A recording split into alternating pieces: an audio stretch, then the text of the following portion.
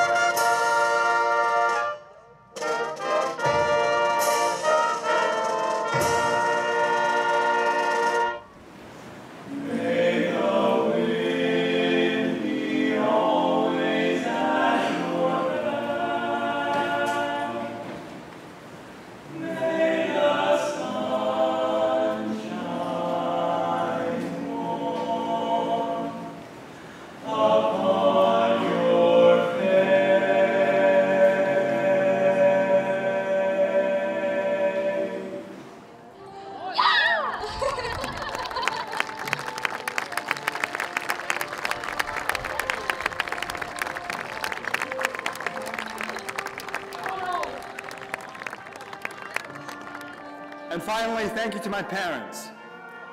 When we first met, I was naked, illiterate, and weighed only eight pounds. They graciously invited me to spend the night at their home. And today, because of their love, sympathy, eternal dedication, and endless understanding, I weigh 170.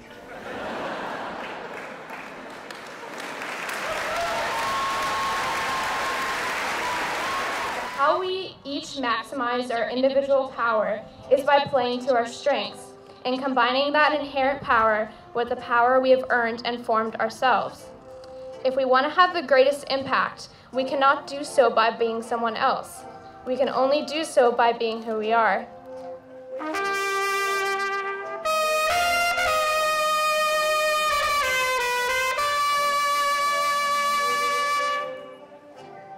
Take care, class of 2015. You were and will remain a class act. Congratulations, class of 2015. You are a special group, and I will miss you all. Ask the class of 2015 to please stand. It's my pleasure to certify that the graduates seated before you have met the graduation requirements outlined by the New Hampshire Department of Education and Hanover High School. Graduates, you may turn your tassels. Now move your tassels from left to right. You may now switch your tassel.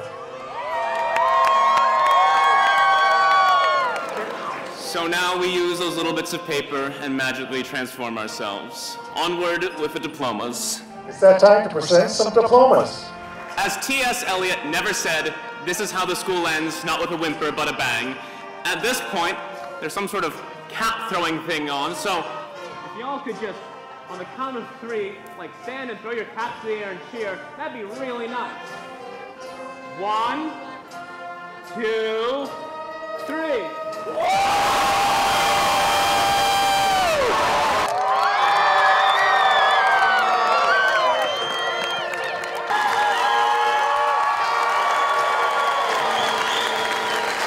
You are little, yes, but so are you big.